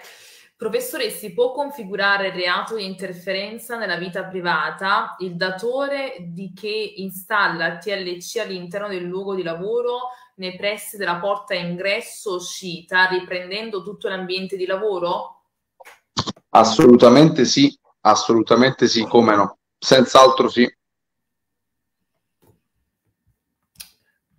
Bene, allora io non vedo altre domande per il momento, quindi proseguiamo, andiamo avanti e chiaramente poi come, uh, come sempre nel caso andiamo appunto a riprendere, a ripescare le domande. Sì, c'è Marco che ringrazia per la risposta, grazie mille, chiarissimo. Sì, grazie assolutamente. Uh, no, c'è ancora però un altro dubbio da parte di Marco, quindi non andiamo avanti e leggiamo il dubbio di Marco ma il giudizio di idoneità nel tentativo non andrebbe condotto secondo autorevole maggioritaria dottrina sulla base di una valutazione ex ante in concreto e a base non parziale ma totale e quindi sulla base di tutti gli elementi conosciuti dalla gente al momento del fatto? Sono d'accordo che la valutazione vada fatta in concreto sicuramente. Sulla base, per la verità, la questione è molto complessa, però non è questa la sede per parlarne perché finiremo per parlare fino a mezzanotte di tentativo. Quindi ti rimando al corso, va bene? Prego, andiamo avanti. Esattamente, ragazzi. Io vi ricordo che come sempre sono pillole di lezioni, poi chiaramente per l'approfondimento, insomma, abbiamo un validissimo professore, sapete dove, dove siamo e quindi basta semplicemente poi contattarci privatamente per l'iscrizione ai nostri corsi di preparazione. Allora, andiamo avanti e passiamo adesso ad una sentenza, quindi ripassiamo all'analisi di una sentenza di diritto civile ad opera del nostro dottor Mario Cevoli e con ad oggetto il risarcimento del danno per disinteresse del padre fin dalla nascita. Prego. Buonasera a tutti. Allora, eh, la Cassazione di oggi è la numero 15148 del 12 maggio 2022, quindi recentissima che tratta appunto il tema del risarcimento che spetta al uh, figlio per il disinteresse di uno dei due genitori successivamente al mancato riconoscimento. Allora, uh, occorre fare un uh, leggerissimo excursus, ovvero sappiamo che uh, la legge, che a parte la, la, legge, il codice civile e la Costituzione prevedono delle forti uh, tutele in capo ai, ai figli, anche a discapito dei genitori. Sappiamo che la legge italiana uh, impone appunto ai genitori una serie di doveri nei confronti dei figli che si esplicano ad esempio nel provvedere al loro mantenimento, ma anche nel seguirne la crescita, educarli, assisterli quotidianamente, eccetera.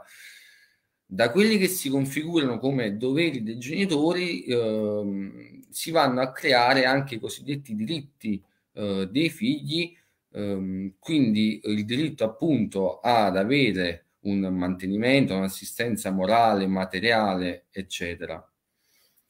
Da ciò deriva che ogni figlio, indipendentemente che sia nato in costanza o fuori il matrimonio, ha diritto appunto ad essere educato e mantenuto.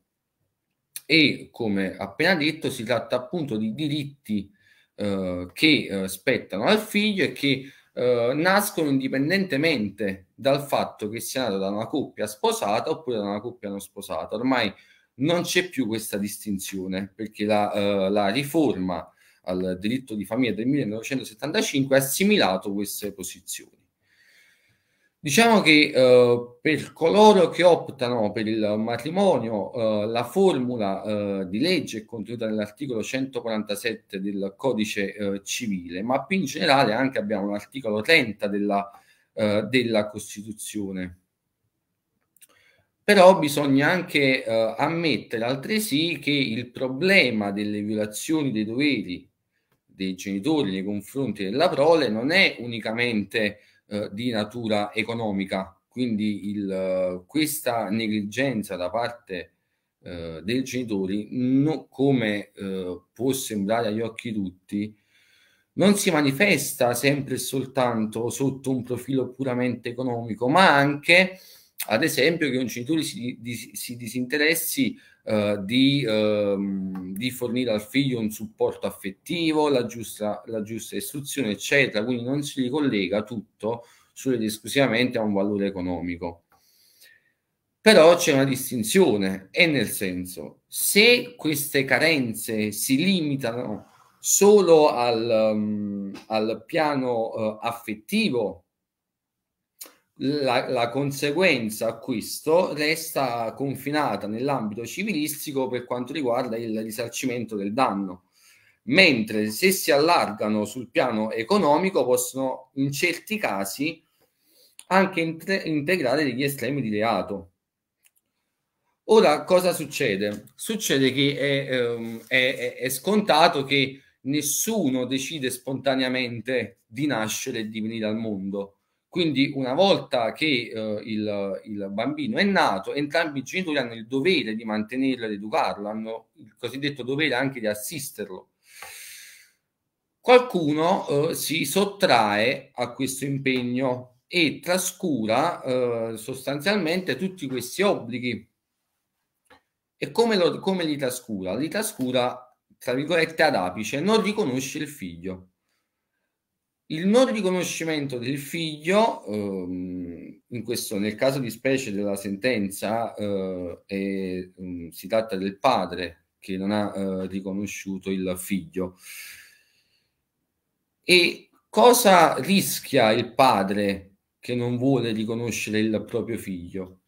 Ovvero, ehm, ricordiamo però, ricordiamo sempre che evitare il riconoscimento è un fatto illecito però ehm, c'è una forma di tutela che spetta sia alla madre, quindi che può essere richiesta sia dalla madre sia dal figlio maggiorenne, eh, per avere questa dichiarazione di riconoscimento di paternità. Non è soltanto la madre che può agire per chiedere riconoscimento, ma anche il figlio, quando diventa eh, maggiorenne, può chiedere appunto una dichiarazione giudiz- giudiziale di paternità che consentirà poi allo stesso, in caso di figlio, alla stessa in caso di mamma, potrà ottenere in caso di esito positivo che cosa? Il, il, um, lo status in primis di figlio a tutti gli effetti e chiedere anche risarcimento dei danni. Ora, quando un figlio viene generato tra uh, due persone unite in matrimonio, il rapporto giuridico di uh, filiazione si instaura automaticamente quindi con tutti i diritti e doveri che eh, ciò comporta. Però ci si chiede, ma se il figlio nasce dall'unione di un uomo e di una donna che non sono sposati tra di loro, là si pone poi il, il problema del riconoscimento del figlio naturale e del non riconoscimento del figlio. La prova, quindi la prova della paternità come può essere fornita? Può essere fornita uh, con ogni mezzo, quindi uh, in tempi passati si usavano, c'era anche la presunzione, ovvero si presumeva che, uh, queste, che Tizia convivesse con Caio e quindi automaticamente Caio fosse il padre del figlio di Tizia. Oggi la cosa è più semplice, tra virgolette, tramite il test del DNA. Si fa il test del DNA. Del DNA. Però eh, ovviamente c'è la possibilità che il padre rifiuti di sottoporsi a questo test di, eh, al test del DNA che eh, il rifiuto, qualora fosse privo di motivazione, comporterebbe proprio l'effetto contrario, cioè il giudice può presumere che il, il, la, il diniego da parte del padre di sottoporsi al, al, al, test del DNA presuma, faccia presumere che automaticamente voglia evitare il riconoscimento di un figlio proprio. Ora però il problema che pone uh, questa, uh, la sentenza è questo, ovvero una volta che viene accertato, una volta che il figlio chiede questo riconoscimento, il giudice accerta questo riconoscimento e quindi si ha questo uh, rapporto di filiazione, da quando scatta il risarcimento danni? Cioè successivamente, quindi dal giorno della sentenza o prima? Da qua, quando è che il, da quando inizia il danno? In questo ci viene in aiuto l'articolo 277 del codice civile che afferma che la sentenza che uh, leggo allora afferma che la sentenza che dichiara la filiazione produce gli effetti del riconoscimento e quindi automaticamente ha, una, ha un'efficacia retroattiva. Quindi uh, il risarcimento del danno per tutta la, uh, per tutta la situazione, quindi dal, ma, dalla mancata assistenza morale al dovere di educazione, eccetera, nasce al momento della nascita del, del figlio. Quindi ha un effetto retroattivo che uh, si ripercuote al giorno della nascita. E perché la, uh, la Cassazione ha avuto esigenza, cioè c'è, stato, c'è stata questa sentenza? Perché? Perché il padre ricorreva in Cassazione per uh, influire a, suo modo di vedere sul quantum di questo risarcimento, uh, dicendo che non era possibile che dovesse risarcire dal giorno della, della, della nascita del, del figlio. In questo la Cassazione, diciamo, ripeto che la legge pone delle tutele abnormi nei confronti dei figli. Faccio un esempio che eh, è capitato nel, dove, dove, lavoro. Alle volte il giudice poco si interessa pure del, eh, diciamo, del reddito del padre per quanto concerne il, il quantum monetario che il padre dovrà dare poi al, al figlio. L'interesse del giudice è solo ed esclusivamente nei confronti del figlio e poco interessa al giudice delle condizioni economiche dei genitori. La, eh, la sentenza di oggi, quindi, cosa, cosa, stabilisce? Stabilisce che il figlio ha diritto al risarcimento dei danni patrimoniali e non patrimoniali quando il padre ovviamente se ne disinteressa. La misura del ristoro, però, eh, sale se l'abbandono ovviamente eh, avviene durante l'infanzia e l'adolescenza, perché il momento in cui l'assenza del genitore si fa più sentire e sia l'appello, eh, sia scusatemi, la Cassazione ha ribadito questo concetto poiché dopo la nascita del figlio l'uomo si era allontanato dis- e dis- disinteressato del piccolo, in che modo? Non, non fornendogli eh, un aiuto economico, ma non riconoscendolo a questo la sentenza ehm, e quindi conseguentemente ehm, la Corte di Cassazione ha sancito l'obbligo del genitore di con, che l'obbligo del genitore di ehm, concorrere al mantenimento del figlio nasce proprio al momento della sua nascita anche eh, se la, procrea- la, la, procreazione sia stata successivamente accertata con sentenza. Quindi la sentenza che accerti la, la, uh, la procreazione ha un effetto retroattivo e quindi per i giudici di legittimità il motivo del, della decisione del, di primo grado è fondato poiché hanno ricordato che cosa sostanzialmente?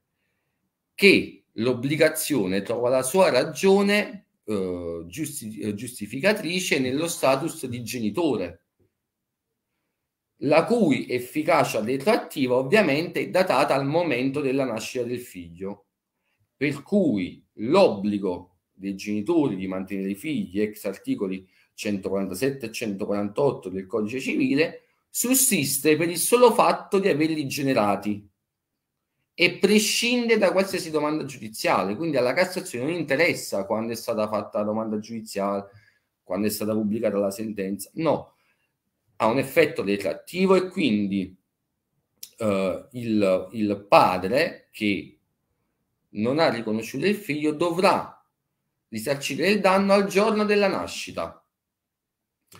Um, ovviamente questo è, a mio parere, una sentenza giustissima quindi sono molto d'accordo con la Cassazione perché si ha eh, un abuso di non riconoscimenti, si ha un abuso di non riconoscimenti, in virtù, eh, li troviamo soprattutto quando il figlio, eh, diciamo, eh, nasce da due persone che non sono unite in matrimonio, e proprio la, la, l'idea di non essere uniti in matrimonio porta al fatto che uno dei due genitori si senta più forte nel non riconoscere il figlio.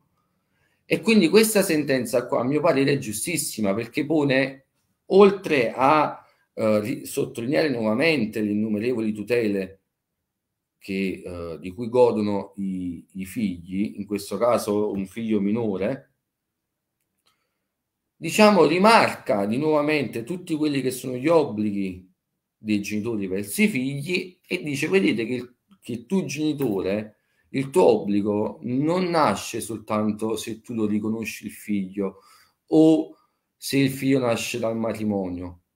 Attenzione, il, il tuo obbligo di mantenimento nasce per il solo fatto di averlo generato. Mi, la, la Cassazione va anche contro il fatto che sia stato riconosciuto dal figlio. La Cassazione dice a me non mi interessa che tu l'hai riconosciuto, non c'era bisogno del, della sentenza di riconoscimento affinché tu debba, debba adempiere gli obblighi eh, nei riguardi del, del, del, del figlio. In ogni caso è importante questa sentenza perché rimarca l'articolo 277 del codice civile che dice che la sentenza in ogni caso che accerta uh, la procreazione ha un effetto retroattivo e quindi in questo caso il padre sa- è stato poi condannato al risarcimento del danno dal giorno della nascita, quindi risarcendo anche la mamma del, ovviamente del figlio perché da sola ha dovuto provvedere al, al mantenimento quindi ripeto eh, che eh, la sentenza è la numero 151-48 del 12 maggio 2022, ovvero l'obbligo del genitore naturale di concorrere al mantenimento del figlio nasce al momento della sua nascita, anche se la procreazione sia stata successivamente accertata con sentenza. Io ho finito, quindi se ci sono domande sono qui. Allora, vediamo prima se ci sono interventi da parte dei nostri relatori. Prof. Torrese. Una sola cosa volevo dire, tanto complimenti al dottor Cevoli che è stato veramente di una grandissima chiarezza espositiva, veramente molto molto molto chiaro. Una eh, riflessione, questa sembra una sentenza scontata, perché uno immagina il classico caso quello un po' di scuola, ma probabilmente o, o, tutti hanno un amico che ha subito questa sorte, padre che mette incinta con la madre o che all'improvviso, dopo che lei ha partorito, prende e scompare, no? Vado a comprare le sigarette, questo famoso cliché, genitore scompare. In questo caso inizia il giudizio non per ottenere gli alimenti che il soggetto non ha mai pagato, a noi viene normale dire, beh, ma certo che deve iniziare a pagare gli alimenti dal momento in cui ha smesso di pagarli. Quindi se non li ha mai pagati dal momento della nascita, se li ha pagati i primi tre anni e poi è scappato in Belize, dai tre anni in poi deve pagarli. A noi sembra normale. Però così normale non è, perché quello che il dottor Cevoli ha detto seppur implicitamente che sostanzialmente la giurisprudenza se ne frega dell'elemento soggettivo. Quindi a noi sembra giustissima la sentenza di condanna da parte di ehm, nei confronti del padre che mette incinta la moglie scappa o che a un certo punto quando il bimbo a 5 anni prende scappa. A noi questa sentenza ci sembra giustissima perché c'è il dolo di questa persona, c'è una cattiveria. Pensate invece a una persona che non sa di avere un figlio. Anche questo può accadere. Ebbene, nella sentenza diciamo dell'elemento soggettivo della consapevolezza del padre di essere genitore, a me non interessa nulla. A me l'unica cosa che interessa è che lui è padre. Se lui è padre, ha obblighi di mantenimento, attenzione al microfono, ha obbligo di mantenimento verso il figlio. Qui c'è un collegamento automatico che prescinde dall'elemento soggettivo e mi ricorda una famosa sentenza della Cassazione che lessi, mi sembra un anno scorso, in tema di pillola abortiva, e cioè questa persona aveva provato mediante testimoni che la sua fidanzata gli aveva garantito al 200% di assumere la pillola anticoncezionale e che quindi non vi sarebbero stati problemi. Il soggetto in questione riusciva a dimostrare che invece la ragazza appositamente, non si sa se, o meglio detto appositamente, ma non sappiamo se per una dimenticanza o una volontà, non l'aveva presa ed era rimasta incinta. Costui non vuole pagare il mantenimento del figlio non voluto, la donna gli fa causa e lui viene condannato. Perché? Perché nonostante si provi il fatto che lui non, ave- non aveva voluto quel figlio, aveva fatto tutto quanto in suo potere per evitare di averlo, ciò che conta ai fini della sussistenza dell'assegno di mantenimento in favore dei figli è la sussistenza dei figli, quindi la genitorialità. Se poi lei ti ha ingannato, beh, allora vatti a fare un autonomo giudizio risarcitorio nei suoi confronti, va bene, ma non c'entra niente. I figli li devi mantenere comunque, anche se non li volevi, anche se hai fatto qualunque cosa per evitare di generare. Quindi un punto molto importante e vedete che applicare questa sentenza in casi diversi da quelli di scuola può portare a risultati un po' più contrastanti. Io ho finito, vediamo se ci sono domande, altrimenti passiamo all'avvocato Posta. No, io non vedo domande e chiaramente mi accodo al prof Torresi per i complimenti alla spiegazione del, del dottor Mario Cevoli, molto chiara e soprattutto anche diretta e concreta come da suo stile. Bene, allora io direi di andare avanti quindi di passare all'analisi dell'ultima sentenza di questo appuntamento, di questa puntata, eh, e quindi ritorniamo all'analisi di una sentenza di diritto penale ad opera del nostro avvocato Federica Posta e con ad oggetto rapporti tra abuso d'ufficio e falso in atto. Buonasera a tutti, grazie Giussi e inoltre anche io i miei complimenti a Mario perché veramente sempre sceglie delle sentenze molto molto interessanti e molto belle anche da leggere, veramente complimenti. Eh, allora, la sentenza che commenterò questa sera è una sentenza del 2019, del 2019 numero eh, 3515 eh, ovviamente siamo soliti occuparci sempre e molto spesso di mh, pronunce più vicine ai nostri tempi, quindi dal 2020 in poi, ma questa sera devo dire di fare un'accezione perché è una decisione che eh, è veramente importantissima e molto molto ehm, insomma, discussa. Eh, in questa sentenza, infatti, la Corte affronta uno di quelli che eh, ritengo essere uno dei temi caldi eh, del diritto penale, perché la giurisprudenza di legittimità eh, torna nuovamente eh, a parlare di rapporti fra due tipologie di eh, reati, eh, tra cui eh, quello relativo all'abuso d'ufficio disciplinato dall'articolo 323 del codice penale ed il reato di falso in atto ai sensi dell'articolo 483 del codice penale. Allora, eh, perché è importante eh, comprendere i rapporti tra queste due fattispecie? Perché è essenziale? Perché è importante per la qualificazione giuridica della fattispecie, in particolare per questa fattispecie che adesso andremo ad esaminare e soprattutto per rendere effettivo quello che è il trattamento sanzionatorio applicabile alle varie eh, appunto fattispecie. Ovviamente prima di giungere a eh, comprendere quelle che sono conclusioni della Corte, è eh, ovviamente necessario eh, capire la dinamica, la dinamica da cui scaturisce appunto la decisione che stiamo appunto esaminando. Eh, la vicenda innanzitutto trae origine dalla condanna di un professionista sanitario, quindi in questo caso di un infermiere, il quale eh, nella qualità di eh, pubblico, eh, diciamo di incaricato di pubblico servizio, perché comunque è un infermiere che svolgeva la sua attività presso una ASL eh, di eh, competenza, eh, che era stato ritenuto responsabile penalmente ai sensi dell'articolo 323 del codice penale, quindi come titolo di reato abuso d'ufficio, in quanto eh, aveva, mh, eh, era emerso nella vicenda che eh, l'imputato avesse fatto figurare il proprio figliolo eh, come ricoverato in un regime ordinario. Eh, consentendo appunto di sottoporlo a degli esami, in questo caso ematici di laboratorio, quindi degli esami urgenti, senza una prenotazione, quindi senza un pagamento del ticket contrariamente a quanto previsto dalla disciplina eh, normativa e regolamentare che prescrive l'obbligo di effettuare la prenotazione presso la ASL e il pagamento del ticket quando si tratta di appunto esami di questo eh, genere.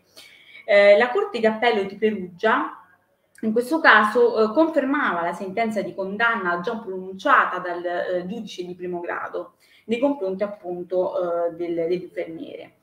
Si ricorre pertanto in Cassazione, eh, appunto l'imputato ricorre in Cassazione e eh, ovviamente prima di giungere alle conclusioni della Corte è necessario esaminare le norme codicistiche che si occupano sia dell'abuso d'ufficio sia del falso in atto pubblico. Quali sono queste norme? Innanzitutto eh, ricordiamo la norma sull'abuso di ufficio che è contenuta eh, nell'articolo 323 del codice penale Cosa ci dice questa norma? Questa norma recita che salvo che il fatto non costituisca un più grave reato, mi raccomando a questa locuzione che ci eh, servirà tra poco per spiegare appunto eh, questa, eh, questa sentenza, quindi salvo che il fatto non costituisca un più grave reato, il pubblico ufficiale e o l'incaricato di pubblico servizio che non lo svolgimento delle funzioni o del servizio in violazione di specifiche regole di condotta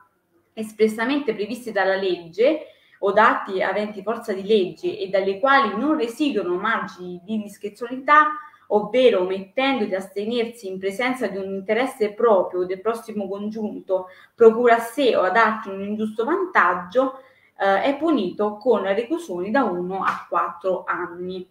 Pertanto si tratta, come possiamo immaginare, di un reato proprio cioè di un reato in cui eh, il soggetto attivo è un pubblico ufficiale oppure in questo caso un incaricato di pubblico servizio che svolge appunto le proprie funzioni, quindi ehm, in qualche modo eh, viola la fattispecie incriminatrice, quindi l'obbligo o il divieto in, eh, nel, durante lo svolgimento delle sue funzioni o del suo servizio.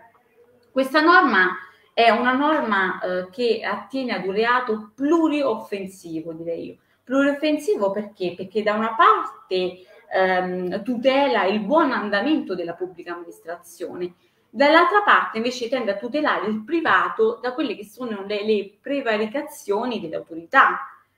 Ok, pertanto tende a preservare il patrimonio del terzo danneggiato che potrebbe essere appunto leso dall'abuso del pubblico eh, funzionario.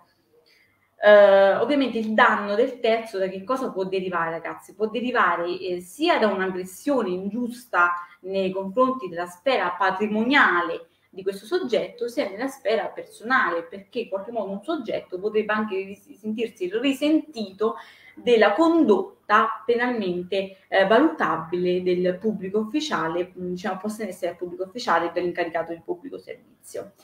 Quando si può parlare di una condotta abusiva, cioè quando una condotta può essere definita abusiva?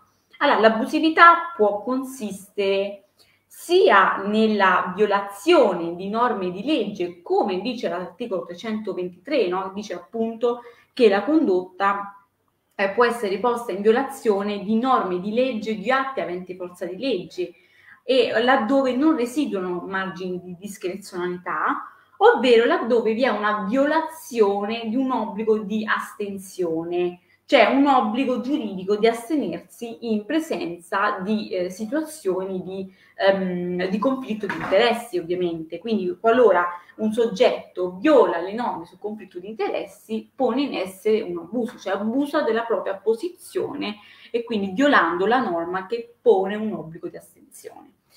Quindi il reato, ovviamente, per la ehm, sussistenza del reato è, eh, si richiede il dolo generico eh, c'è eh, l'impossibilità, eh, quindi l'intenzionalità, la coscienza e la volontà di porre in essere quella determinata condotta. Allora, eh, fatte queste dovute premesse, eh, come abbiamo detto poc'anzi, la, la norma dell'articolo 323 eh, esordisce dicendo che salvo che il fatto non costituisca più grave reato. Si tratta, questa locuzione attiene ad una clausola una clausola di salvaguardia, cioè consente di delineare i rapporti fra l'abuso di ufficio e un altro tipo di reato eventualmente più grave dell'abuso di ufficio. Infatti, eh, in questa vicenda che cosa è emerso? Il soggetto, oltre a eh, insomma, prevaricare, quindi abusare della sua posizione per far ricoverare il figlio, farlo sottoporre a degli esami, contrariamente, eh, diciamo, senza attenuazione, quindi contrariamente alla normativa, quanto, su quanto previsto dalla normativa in materia, che cosa fa? Eh, eh, era divenuto a sottoscrivere negli atti ufficiali di essere stato invece di aver provveduto al pagamento del ticket, quindi dichiarando una fattispecie, sostanzialmente dichiarando falsamente la fattispecie.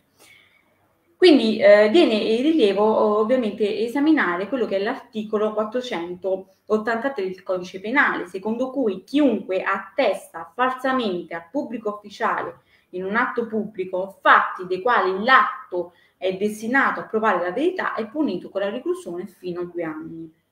Questa disposizione non impone nessun obbligo innanzitutto di veridicità delle dichiarazioni, ma eh, sostanzialmente si limita a ehm, eh, come dire, punire quelle condotte in cui il, l'agente attesta appunto eh, falsamente eh, un, eh, una, diciamo, riporta una dichiarazione falsa al pubblico ufficiale in un atto pubblico. Si trattava di un atto pubblico perché è un atto ufficiale dell'ASL, dell'ASL appartiene comunque al settore pubblico. Pertanto questa disposizione, non imponendo alcun obbligo di vericità, mh, sostanzialmente che cosa fa? Eh, si limita soltanto a scaturire, eh, diciamo, mh, a, a, vietare queste condotte eh, appunto eh, che consistono in dichiarazioni false. Quindi si tratta di quella che nel sistema del diritto penale è stata al centro di tanti dibattiti dibattiti, soprattutto per la sua eh, compatibilità con il principio di legalità, che è la norma penale in bianco. Eh, che cos'è la norma penale bianco? Ricorre questa fattispecie eh, quando vi è eh, un, eh, sappiamo come ben sappiamo, in base al principio di determinatezza che, eh, si, su cui si basa il sistema penale, il, ogni norma deve riportare il precetto determinato e una sanzione ben determinata. Nella norma penale in bianco abbiamo invece una sanzione ben determinata, ma il precetto è indeterminabile, cioè comunque il precetto è lasciato al libero eh, insomma, sostanzialmente al video del legislatore in questo caso. Eh, fatte queste dovute premesse, Uh, qual è la qualificazione giuridica e il trattamento sanzionatorio da poter um, attribuire a questa fattispecie? Uh, qual è il rapporto fra, che esiste fra l'abuso d'ufficio è il falso in atto pubblico, perché il falso in atto pubblico si applica, perché lo dice la norma dell'articolo 323, che dice appunto che salvo che il fatto non costituisca più grave reato. Ehm, allora, ehm, proprio questa clausola ha posto non pochi problemi sui rapporti fra queste due norme, fra queste due fattispecie penali. Infatti la finalità è in atti è un reato più grave e l'orientamento maggioritario all'interno della giurisprudenza che cosa ci dice? Ci dice che eh, ritiene che il reato di falso in questo caso sia suscettibile di integrare proprio in virtù di questa clausola presente nell'articolo 323 di integrare il reato di abuso di ufficio, cioè che il reato di falso in questo caso assorba il reato di abuso di ufficio. Quando si può parlare di assorbimento, che cos'è l'assorbimento? L'assorbimento è un criterio di eh, risoluzione eh, del concorso eh, materiale, del concorso eh, delle norme, di apparenti norme. Quando si può integrarsi questo assorbimento? Affinché possa operare l'assorbimento, la giurisprudenza di legittimità ritiene che sia necessario la sussistenza di una condotta materialmente unica, cioè, se dice la giurisprudenza, se il falso è solo una parte delle condotte che integrano l'abuso d'ufficio, allora questi due reati devono essere contestati autonomamente. Quindi il trattamento non può, essere, non può essere mai inferiore a quello riservato dalla norma che è stata assorbita. Quindi viene in rilievo in questo caso il concetto, un altro concetto, contrariamente all'assorbimento, che è il concetto di concorso materiale. Che cos'è il concorso materiale? Il concorso materiale si realizza quando un soggetto eh, commette più infrazioni eh, della, eh, della, legge penale, per cui deve rispondere di più eh, reati sostanzialmente. Quindi nel sistema penale il concorso può essere appunto materiale quando un individuo commette una pluralità di reati perché pone più condotte diverse può essere formale invece quando vi è una pluralità, quando vi è un'unica condotta che, eh, con il quale vengono violate più disposizioni della medesima condotta o più norme incriminatrici sostanzialmente. Nel caso del concorso materiale che ci interessa in questa fattispecie, eh, qual è il trattamento sanzionatorio? Nel trattamento sanzionatorio il criterio applicabile è quello del cumulo giuridico, cioè si applicano tante pene eh, quanto eh, appunto eh, si applicano tante pene eh, quanti sono comunque le fattispecie penali in essere, quindi quanto sono le condotte in essere. Invece per il mm, eh, concorso formale eh, si applica sempre la pena prevista per il reato più, più, grave aumentata per il triplo. In questo caso, invece in questa fattispecie, che cosa è emerso? Si può applicare l'assorbimento o il concorso formale? Questa diciamo, è la questione che emerge da questa sentenza. Cioè nel caso in esame il, l'infermiere eh, potrebbe rispondere di, eh, sia di abuso d'ufficio e di falso in atto pubblico o soltanto comunque del reato più grave in virtù dell'assorbimento che il reato più grave fa dell'abuso d'ufficio. In questo caso eh, vi sono, eh, risponde la Corte ritenendo che queste sono condotte penalmente autonome. Cioè praticamente dice la Corte che in tema di rapporti fra abuso di, di ufficio e falso in atto pubblico sussiste il concorso materiale e non l'assorbimento dell'abuso d'ufficio nel reato di, eh, più grave di falso, qualora la condotta di abuso non si esaurisca nel compimento di un atto falso, essendo quest'ultimo strumentale alla realizzazione del reato di cui all'articolo 323 costituendo una parte della più ampia condotta di abuso. Pertanto, quando dice la Corte sostanzialmente che quando la condotta di abuso ehm, eh, diciamo, non si sostanzia nel compimento di un atto di fatto, o meglio, l'atto di fatto non costituisca soltanto una parte del reato di abuso di ufficio, in questo caso non si applica il criterio dell'assorbimento, ma si può parlare di concorso materiale nel reato. Pertanto, il trattamento sanzionatorio è quello del cumulo giuridico, cioè si applicano più norme, quindi più trattamenti sanzionatori. Pertanto il soggetto avrà eh, appunto andrà incontro a più pene quanti sono i reati posti in essere. Ok? Questa è un po' la, una sentenza molto molto importante. Abbiamo scelto questa sentenza del 2019 grazie anche all'avvocato Torrese che eh, insomma è una sentenza veramente molto molto importante da cui scaturiscono degli istituti fondamentali nell'ambito del diritto penale perché sono degli istituti molto spesso eh, in cui eh, insomma, eh, i candidati ma anche i professionisti delle, eh, hanno delle certezze perché ovviamente eh, sono degli istituti simili, ma in realtà si differenziano e è molto importante differenziarli proprio in virtù del trattamento sanzionatorio che ne scaturisce. Pertanto è importante mh, eh, diciamo, eh, stabilire eh, qual è la qualificazione giuridica di una fattispecie in presenza di questi connotati proprio in virtù del trattamento sanzionatorio. Non so se vi sono delle domande. Allora, complimenti intanto Federica, davvero molto molto brava, come sempre precisa nella spiegazione. Io al momento non vedo domande e uh, chiedo se ci sono interventi da parte dei relatori. Prof. Torrese? Un commento non sull'esposizione, perché Federica, come sempre, ha detto veramente tutto, è stata precisissima. Una riflessione. Questa è una sentenza di enorme importanza non tanto o non solo per quanto dice rispetto ai due reati, ma perché vi permette di fare una ricognizione generale sull'istituto del concorso materiale di reati e in particolare la differenza tra concorso materiale di reati e concorso apparente di norme. Concorso materiale di reati e concorso apparente di norme. Ragazzi, il concorso apparente di norme è un concorso finto, no? E quando sembra che ci sia concorso di reati, ma concorso di reati non c'è sostanzialmente. E quale sentenza meglio di questa per capire il discrimen tra le fattispecie e evidentemente capire quando scatta l'una e quando scatta l'altra. Approfitto di questo mio intervento per farvi saluti, quindi saluto tutti coloro che ci hanno seguito da casa, sono le 22.57, siete ancora tantissimi collegati. Ringrazio tutti i nostri relatori, ringrazio il giudice Palagano, ringrazio l'avvocato Posta, ringrazio il dottor Cevoli, ringrazio Giusi, ringrazio l'avvocato Savarese che è intervenuto. E vi rimando ai nostri due format, le nostre due dirette di sabato alle 15 con la risoluzione di due tracce per l'esame di avvocato, una di diritto civile e una di diritto penale, che saranno pubblicate domani sulla nostra pagina Facebook corsi di formazione giuridica 2022. Seguitela perché lì ci sono tutte le novità. Attentici al microfono acceso e poi le ore 17 con la simulazione prova per concorsi pubblici.